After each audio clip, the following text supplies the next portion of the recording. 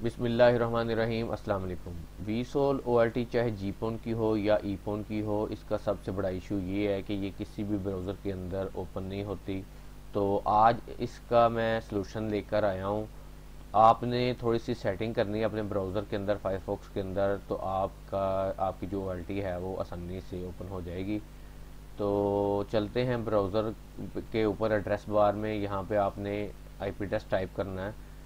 By default I test कुछ और होता है, मैंने इसका आई टेस्ट चेंज किया हुआ है। जैसे इसको मैं लिखूँगा तो ये देखें जी, ये ओपन नहीं होगी।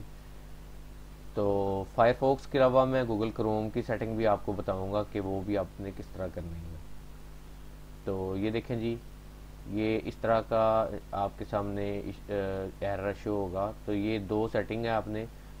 पहले ये ऊपर वाली को कॉपी कर लें और ब्राउज़र के अंदर जाके आपने पेस्ट करनी है। तो जैसे ही सेटिंग आपके सामने खुलेगी तो इसको ओपन कर लें।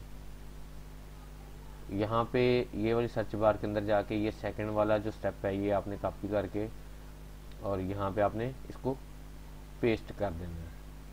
तो जैसे ही पेस्ट करेंगे, ये ऊपर वाली सेटिंग के ऊपर आपने फोर है तो इसको आपने कर देना है थ्री और नीचे वाली को सेव कर दें और नीचे वाली को वन कर दें। इसको सेव कर दें तो एक बार इसको क्लोज करके फिर से इसको ओपन करें फायरफॉक्स को। जैसे ही ओपन करेंगे तो सर्च बार में आप अपना आईपी एड्रेस विजुअल का लिखेंगे। तो थोड़ी सी सेटिंग करनी पड़ेगी आपको।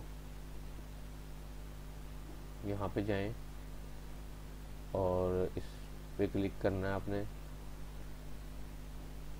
तो थोड़ी देर बाद देखें, ये देखें जी, आपके सामने विसोल का जो है लॉगिन पेज ओपन हो गया है। तो इस तरह आप इसका, इसकी सेटिंग कर सकते हैं। आप फायरफॉक्स के अंदर जैसे ही आप लॉगिन करने आईपी टेस्ट लगाएँगे तो ये लॉगिन हो जाएगा। Thank you for watching